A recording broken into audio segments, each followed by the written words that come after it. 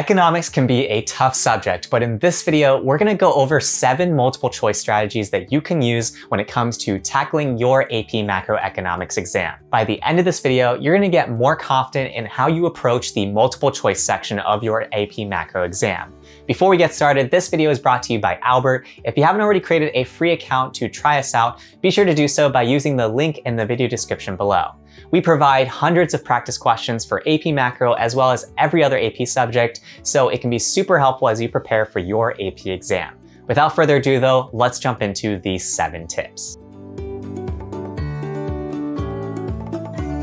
Our first tip when it comes to tackling the AP Macro MCQ section is to make sure that you are using the process of elimination. As you read through the answer choices that are presented to you, strike out the ones that make absolutely no sense in response to the question. By simply eliminating one or two answer choices, you can significantly increase your odds of getting that particular multiple choice question correct. We recommend that you physically take your writing utensil and strike out the answer choices that are clearly incorrect as you're working through your exam. By by practicing this sort of active test-taking approach, you're going to be more engaged with the content that's being presented to you. In the case where you're unsure about a particular question, simply circle it or leave a question mark so that you can remind yourself to come back to it later when you are wrapping up with your first run through of the multiple choice section. Tip number two when it comes to the multiple choice section is to make sure that you focus on the things that are going to be tested more frequently than other topics. When it comes to AP macroeconomics, there are really two key units that that are tested far more frequently than the other units that you learn in class. Those units are Units 3 and Units 5. Unit 3 talks about national income and price determination, and Unit 5 talks about long-term consequences of stabilization policies. It's really important that you focus your study time on these two units because Unit 3 is typically tested 17% to 27% of the time, whereas Unit 5 is tested 20% to 30% of the time. Aside from Units 3 and 5, Unit 4 is also also super important, and that covers the financial sector. Typically, this unit takes up 18 to 23% of the multiple choice section. So knowing units 3 through 5 is absolutely vital when it comes to scoring that 4 or that 5 on your AP macro exam. Tip number three when it comes to tackling your AP macro exam is to make sure that you are budgeting your time wisely. Ultimately, you're gonna have 60 multiple choice questions that you have 70 minutes to answer, which means that you typically will have a little over a minute to answer every single question. When it comes to the multiple choice section, there are going to be 10 to 20 questions that are more on the easy side of things. These will take far less than a minute to answer, whereas all the remaining questions are typically going to be a little bit more challenging and require some form of analysis on your part. If you find yourself stumped on a particular question, circle it and move on as you're working through the multiple choice section for the first time.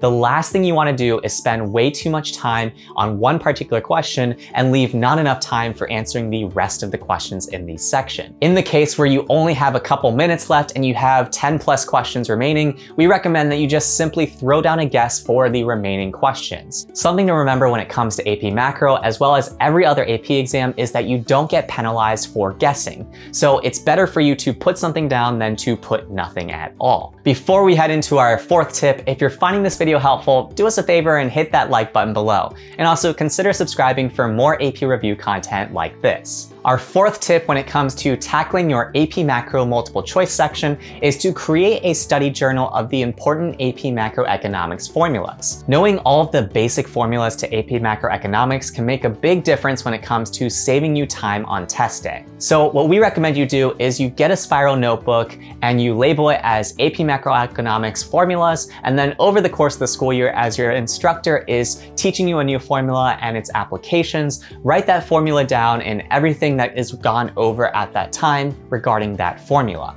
This means that regardless of whether it's a basic GDP formula or a more complex banking formula, that it's making its way to your study sheet over the course of the school year. As you make your way through your AP macro exam prep, you'll find that having the study journal of formulas will be incredibly helpful in saving you time in refreshing your memory on the different things that you learned over the course of the school year. By keeping the study journal, you're gonna cut down on the amount of review time that you need in order to remember everything that you learned when this formula formula was first taught to you. Tip number five when it comes to tackling your AP macroeconomics multiple choice section is to keep all the standard multiple choice section tips and tricks in mind as you're taking it. This means that you're doing things like answering every single question, setting your mind on what letter you're going to guess in the case where you don't have enough time but you want to stay consistent in which answer choice you're guessing with, using the process of elimination, which we went over earlier in this video, or even just thinking about how you could use different pieces of information that were given to you in another question and apply it to help you in answering a later question on the multiple choice section. You may also find it helpful to make sure that you're watching out for keywords like except or not, and also make sure that you're actively marking up your test as you work through the section.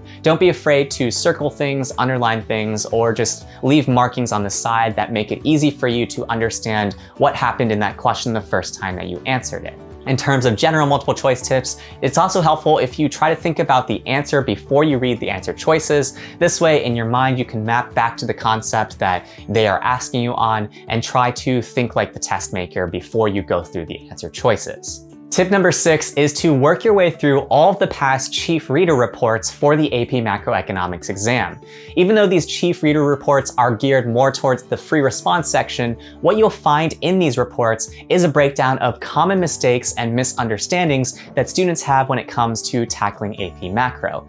Here are five of the most common mistakes that students made in the 2019 exam. Mistake number one was students often confused a change in demand and a change in quantity demanded. Mistake number two was that students often mislabeled or misread graphs. So in the case where you're given a graph in the multiple choice section, you're gonna wanna make careful note as to what's going on in the title of the graph, the axes, as well as the data that's being presented to you. The third mistake that students made was that students often confused real versus nominal. Real signifies adjustment for inflation, whereas nominal includes inflation. Mistake four was that students typically mixed up demand pull inflation with cost push inflation. And the fifth mistake that students often made on the 2019 free response section was that they commonly misinterpreted a Phillips curve. They often thought that a decrease in inflation led to a decrease in unemployment when it's actually the other way around. So simply by reading these chief reader reports for the free response section, we can learn little tidbits of misunderstandings that students commonly make